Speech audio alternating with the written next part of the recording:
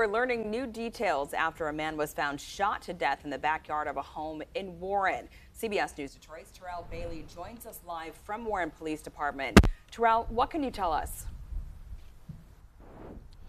Yeah, hey there. Good evening, guys. It's simply a wild situation unfolding in the city of Warren early this morning. And guys, it is a lot of moving parts. Police telling us all of it allegedly stemming from a domestic violence situation. And now it's left one man shot dead. The kids out, took her out in handcuffs and it was it was crazy. George Agusti lives on Jewett Street. He recalls being awoken by police lights.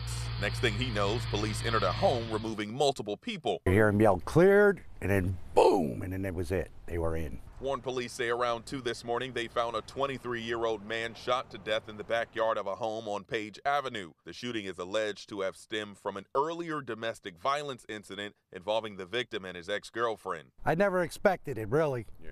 I never would have thought it. Investigators were then led a few blocks away to Jewett Street. That's where they spent hours canvassing it.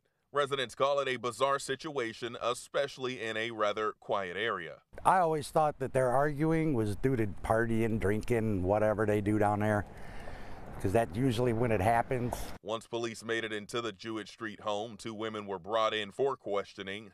Authorities say further investigations led them to a third home where a 32 year old man was arrested. He's reportedly a relative of the victim's ex girlfriend. There was a lot of commotion outside, a lot of traffic, heavy police in the area. A third woman was also questioned, according to Warren police. Meanwhile, some say their biggest concern is the children in the area. It just raises concerns for the kids, you know. People can't be just going out shooting people for stupid things. Just because you're mad don't mean you give you the right to shoot somebody. Now, in total, Warren police say two people are in custody pertaining to that homicide. Of course, a lot still needs to be revealed, but police say this investigation and charges are forthcoming. Guys, we're live in Warren this evening. Terrell Bailey, CBS News, Detroit.